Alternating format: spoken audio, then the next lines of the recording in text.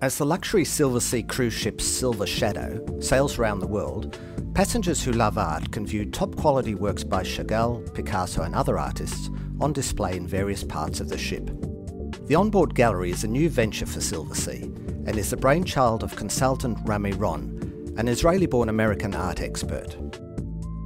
Rami joined the Silver Shadow in September last year, bringing on board more than 100 works of art.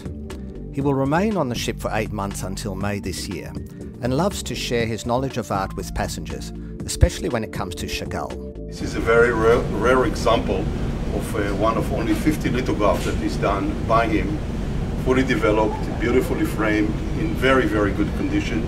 This was done in 1977 and it's a color lithograph that have been created on the surface of the limestone.